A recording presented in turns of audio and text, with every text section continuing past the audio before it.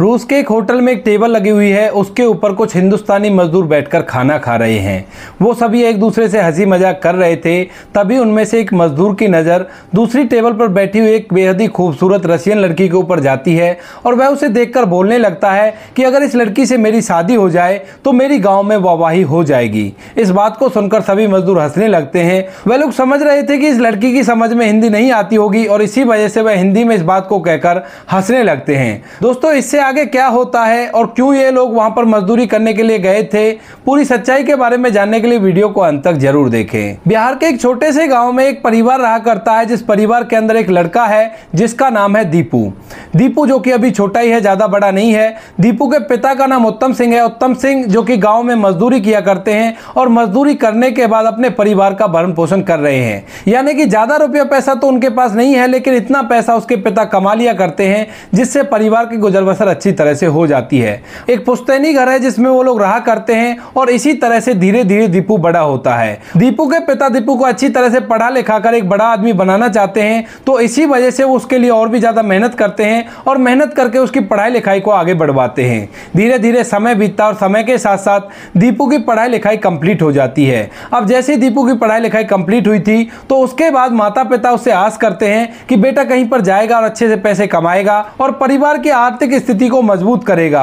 उसी आधार पर जो दीपू होता है, वह गुजरात की एक कंपनी में जाकर नौकरी करने लगता है, क्योंकि उसने आईटीआई की थी और आईटीआई करने के बाद वह गुजरात की उस कंपनी में काम करने लगा था। काम करके वहाँ से पैसों को अपने माता पिता के पास भेज दिया करता और इसी तरह से समय बीतता है। कंपनी में काम करते हुए उसे एक साल हो गया था और इस एक साल के दौरान उसने अंग्रेज़ी बोलनी अच्छी तरह से सीख ली थी।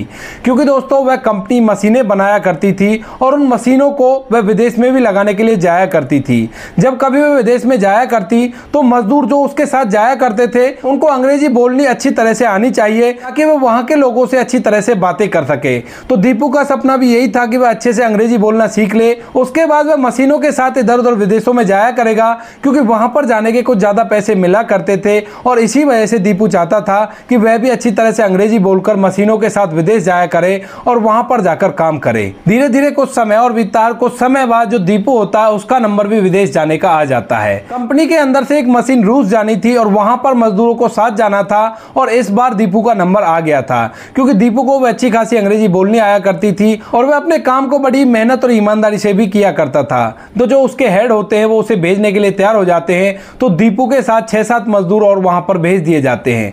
वहाँ पर जाने के बाद दीपू अपने काम को मन लगाकर करने लगता है और वहाँ पर उन्हें लगभग पंद्रह से बीस दिन तक काम करना था और उसके बाद वह वापस से इंडिया आ जाते। तो कंपनी वालों ने उनके लिए एक होटल भी कर रखा था जिस होटल के अंदर जाकर वो खाना खाया करते थे। धीरे धीरे समय बीतता है और वहाँ पर जाए हुए उसे पाँच दिन हो गए थे और पाँच दिन बाद दीपू और उसके साथी एक दिन होटल पर बैठकर खाना खा रहे थे और खाना खाते हुए वे एक दूसरे से हँसी मज़ाक कर रहे थे।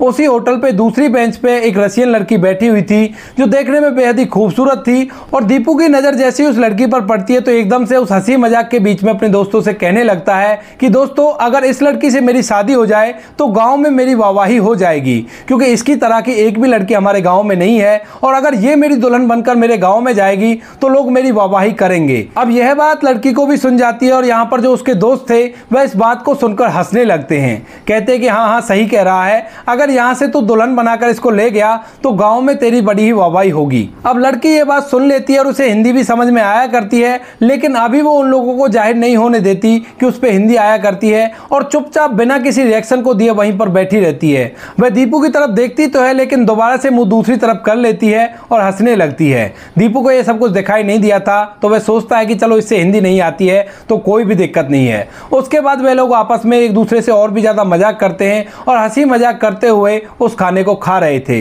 उस लड़की ने खाना खा लिया था और खाना खाने के बाद वह अपनी टेबल से उठती है और उठने के बाद उन लोगों के पास आती है और दीपू से इंग्लिश में बात करने लगती है। क्योंकि वह अभी भी ये नहीं चाहती है कि इन लोगों को पता चले कि उसे हिंदी आती है।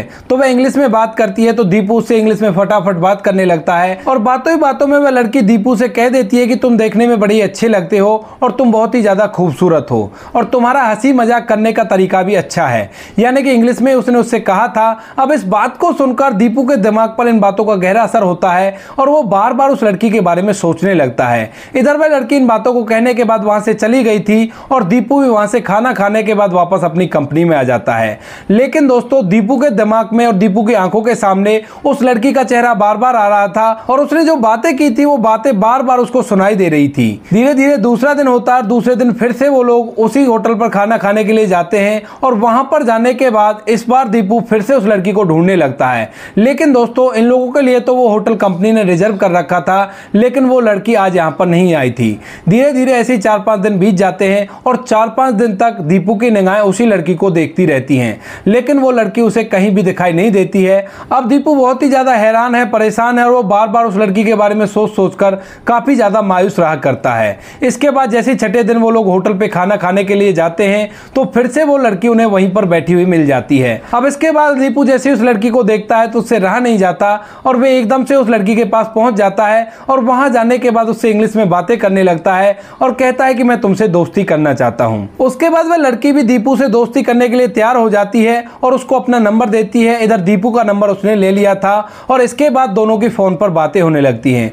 धीरे धीरे बातें होती है और बातों ही बातों में वह लड़की उसको बता देती है कि मुझे हिंदी बोलनी भी अच्छी तरह से आती है। अब दीपू जैसे इस बात को सुनता है तो अपने आप में शर्मिंदगी महसूस करता है, लेकिन तभी वह लड़की उससे कह देती है कि कोई बात नहीं, जो तुमने कहा था, उस बात का मुझे बिल्कुल भी बुरा नहीं लगा था। यानी कि एक सीधा सीधा इशारा था दीपू के लिए उस लड़की की तरफ़ से कि वो भी उसे पसंद किया करती है। इसके बाद थोड़ी देर तक और बातें होती है और बातों ही बातों में दोनों एक दूसरे से अपने अपने प्यार का इजहार कर देते हैं। अब दोनों के बीच में प्यार का इजहार हो गया था और अब उनकी बातें काफ़ी देर तक होने लगती हैं। दीपू उसे अपने गाँव के बारे में बताता है, अपने घर के बारे में बताता अपने माता पिता के बारे में बताता है। इधर वह लड़की भी उसे अपने घर परिवार के बारे में बताती है, कहती है कि हम घर में इतने सदस्य हैं और इस तरह से रहा करते हैं। अब एक दिन सुबह सुबह दीपू उस रशियन लड़की के पास फ़ोन करता है, लेकिन उसका फ़ोन कोई भी नहीं उठा पाता है। इसके बाद दीपू थोड़ा सा परेशान हो जाता है और फिर वो सोचता है कि चलो कोई बात नहीं, हो सकता है कुछ काम कर रही हो। इसी वजह से मेरे फ़ोन को रिसीव नहीं कर पाई हो। फिर थोड़ी देर बाद फिर से फ़ोन करता है, लेकिन इस बार भी उसका फ़ोन किसी ने नहीं उठाया था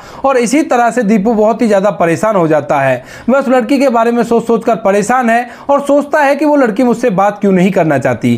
क्योंकि दोस्तों, शाम को ही उन दोनों की बातें हुई थी और उसके बाद उन दोनों ने मिलने का समय तय किया था। लेकिन आज सुबह सुबह ही वो लड़की उससे फ़ोन पर बात नहीं कर रही थी, जबकि दीपू ने अपनी कंपनी से छुट्टी ले ली थी और वह आज का दिन उस लड़की के साथ बिताना चाहता था। इसी बात को लेकर वो काफ़ी ज़्यादा मायूस है। उसके बाद वह बार बार ट्राई करता है, ट्राई करते हुए उसको शाम हो जाती है और शाम को एकदम से उसका फ़ोन स्विच ऑफ़ हो जाता है और उसके बाद उस फ़ोन को स्विच ऑफ़ बताया जाता है। अब इसके बाद दीपू इस सब चीज़ों को एक बुरा सपना समझकर भूलना चाहता है, क्योंकि जब दीपू उस लड़की से बात किया करता था तो दोनों ने एक दूसरे के साथ प्यार की कस्में खाई थी, प्यार के वादे किए थे और उस लड़की ने कहा था कि मैं ज़िंदगी भर तुम्हारे साथ रहूँगी। लेकिन आज उसका फ़ोन स्विच ऑफ़ आ रहा है तो दीपू को लगता है कि हो सकता है कि ये लड़की मेरे साथ ऐसे ही मज़ाक कर रही हो। तो इसके बाद दीपू भी उस लड़की के बारे में सोचना बंद कर देता है और धीरे धीरे उसका भी इंडिया जाने का समय हो जाता है। अब इंडिया जाने का जब समय होता है तो एक बार फिर से दीपू उस पर ट्राई करता है, लेकिन अभी तक भी उसने फ़ोन नहीं उठाया था, ना ही उसका फ़ोन का स्विच ऑफ़ खुला था। तो दीपू अब मायूसी की हालत में इंडिया चला जाता है और इंडिया जाने के बाद बार बार उसे उस लड़की की यादें आ रही थी। वह अपनी कंपनी में जाता है और कंपनी से पंद्रह दिन की छुट्टी ले लेता है। कहता है कि साहब, मुझे कुछ दिन की छुट्टी चाहिए, मैं कुछ समय अपने परिवार के साथ बिताना चाहता हूँ। उसके बाद दीपू वहाँ से अपने परिवार के पास आ जाता है और वहीं पर रहने लगता है। उसके परिवार वाले जब दीपू की हालत को देखते तो वो बड़े ही परेशान होते हैं। गाँव आने के बाद लगभग तीन दिन तक वो अपने आप को कमरे में बंद करता है और कमरे में बंद करने के बाद अचानक से इन सब चीज़ों से बाहर निकलने की कोशिश करता है। क्योंकि जब उसके माँ बाप उसको इस हालत में देखते तो उसको बहुत समझाते हैं और इसी समझाने का फ़र्क उसके दिमाग पर पड़ गया था और वह अपने आप को इन सभी चीज़ों से बाहर निकालने की कोशिश करता है तो वह अपने घर से बाहर आता है और अपने दोस्तों से बातें करने लगता है। बातों ही बातों में इस पूरी घटना को अपने दोस्तों को बताता है और कहता है कि यार, लड़की देखने में वाकई खूबसूरत थी। अब दीपू की इस बात को सुनकर उसके दोस्त उसका मज़ाक उड़ाया करते हैं, कहते हैं कि तू तो यार ऐसे ही कह रहा है। भला तुझसे कोई रशियन लड़की क्यों बात करेगी? इसके बाद वह सभी को विश्वास दिलाने की कोशिश करता है, लेकिन कोई भी उसका दोस्त उसकी बात पर विश्वास नहीं करता है। धीरे धीरे समय बीतता और समय के साथ साथ उसको अब इंडिया आए हुए पाँच छः दिन हो गए थे। यानी कि गाँव में रहते रहते छः दिन उसको हो गए थे और तभी एक दिन अचानक शाम को उस लड़की का फ़ोन दीपू के पास आता है। अब जैसे ही फ़ोन रिंग करता है सामने उस लड़की का नंबर था तो मानो दीपू की खुशी का कोई ठिकाना नहीं था। एकदम से वो फ़ोन को उठाता और फ़ोन उठाने के बाद उस लड़की से बात करने लगता है। वह कहता है कि तुम कहाँ चली गई थी? तुम्हें पता है मैंने कितनी बार तुम्हें कॉल किया था। उसके बाद वह लड़की अपने बारे में बताती है, कहती है कि जिस दिन तुमने मुझसे फ़ोन किया था, उसी रात को अचानक से मेरी तबीयत खराब हो गई थी और तबीयत खराब होने के बाद मेरे माता पिता मुझे हॉस्पिटल में ले गए थे और वहाँ पर मैं पंद्रह दिन तक एडमिट रही थी। अब जैसे ही मुझे होश आया आया है तो होश आने के बाद मैंने अपना फ़ोन देखा तो उसके अंदर तुम्हारी ढेर सारी मिस कॉल थी, लेकिन मेरा फ़ोन घर पर ही रह गया था और घर पर कोई भी नहीं था जो उस फ़ोन को देखकर मुझे बता सके कि फलाने व्यक्ति का फ़ोन आ रहा है और मैं भी पूरी तरह से बेहोश थी। अब इन सभी बातों को सुनने के बाद दीपू की समझ में आ जाता है कि किस वजह से इस लड़की ने मुझसे फ़ोन नहीं किया था और किस वजह से हम नहीं मिल पाए थे। उसके बाद उन दोनों में और थोड़ी देर बातें होती हैं और बातों ही बातों में दीपू भी अपने बारे में बता देता है कि मैं अब इंडिया आ चुका हूँ, वहाँ से मेरा काम कंप्लीट हो गया है और अब मैं इंडिया के अंदर ही रहूँगा। अब शायद हम दोनों कभी ना मिल पाए। अब इस बात को वह रसीन लड़की सुन लेती है और मन के अंदर ठान लेती है कि मैं दीपू से मिलकर रहूँगी। अब वह दीपू को सरप्राइज़ देना चाहती है इंडिया आकर और उसको एड्रेस दीपू का पहले से ही पता था, क्योंकि जब वो दोनों फ़ोन पर एक दूसरे से लंबी लंबी बातें किया करते थे तो उन बातों के दौरान दीपू ने अपने घर का एड्रेस भी उसे बता दिया था। तो एड्रेस उस लड़की को पता है और वह अपने घर वालों से कहकर उस लड़के के बारे में बताकर वहाँ से इंडिया आने लगती है, उस लड़के से मिलने के लिए। कभी कभी वह दीपू के पास फ़ोन किया करती और फ़ोन करने के बाद उससे उसके बारे में पूछा करती, हालचाल जाना करती, लेकिन दीपू को यह नहीं बताती है कि मैं तुमसे मिलने के लिए आ रही हूँ। धीरे धीरे वह लड़की पूछते पूछते उसके डिस्ट्रिक्ट तक पहुँच जाती है। डिस्ट्रिक्ट के बाद उसकी तहसील में पहुँच जाती है और तहसील के बाद उसके गाँव में पहुँच जाती है। वहाँ पर वह दीपू के बारे में पूछती पूछती उसके घर तक भी पहुँच जाती है और जैसे ही उस लड़की को अपने घर के आँगन में देखता है दीपू तो एकदम से मानो उसकी खुशी का कोई ठिकाना ही नहीं हो। उसको अपनी आँखों पर विश्वास नहीं होता है। लेकिन दोस्तों, उस लड़की के पीछे जो लोगों की भीड़ खड़ी हुई थी, उसे देखकर दीपू को विश्वास होता है कि यह लड़की सच में ही मुझसे मिलने आई है। उस लड़की ने गाइड किया था एयरपोर्ट से और उसी गाइड के सहारे वो यहाँ तक आ पहुँची थी, क्योंकि गाइड सभी लोगों से अच्छी तरह से रास्ता पूछा करता और पूछने के बाद वह उसे यहाँ तक ले आया था। वह गाइड भी बिहार से ही था तो इसी वजह से इस एड्रेस को ढूँढने में उसे काफ़ी ज़्यादा आसानी हुई थी। इसके बाद वह लड़की वहाँ पर आ गई थी और वहाँ आने के बाद दीपू को एकदम अपने गले से लगा लेती है। अब दीपू को एक रशियन लड़की ने गले से लगा रखा था और गाँव के सभी लोग वहाँ पर इकट्ठा थे। उनमें से वो लोग भी थे जो कभी दीपू की बात पर विश्वास नहीं किया करते थे। इतनी ही देर में दीपू के माता पिता भी वहाँ पर आ जाते हैं और वो जैसे ही अपने बेटे को एक विदेशी लड़की के गले लगे हुए देखते हैं तो उन लोगों को भी इस बात का बड़ा ही आश्चर्य होता है। क्योंकि उन्हें पता तो था, कुछ ऐसा हुआ है, लेकिन इतनी डिटेल में नहीं पता था कि वो लड़की इसके पीछे पीछे यहाँ तक भी आ जाएगी। उसके बाद सभी लोग घर के अंदर जाते हैं और घर के अंदर जाने के बाद वह लड़की दीपू के माता पिता से बात करती है अपनी और दीपू की शादी के बारे में। दीपू उस लड़की से कहता है कि तुमने अपने माता पिता से बात की या नहीं की। उसके बाद वह लड़की उसे बताती है कि हाँ मैंने अपने माता पिता से बात कर ली है और वो लोग हमारी शादी के लिए एग्री हैं। इसके बाद दीपू और उस लड़की दोनों की शादी हो जाती है। शादी होने के बाद दीपू और वो लड़की एक दूसरे के साथ हँसी खुशी जीवन व्यतीत करते हैं। अब शादी होने के बाद वो हँसी खुशी तो है, लेकिन उनकी खुशी कितने दिन तक चल पाएगी?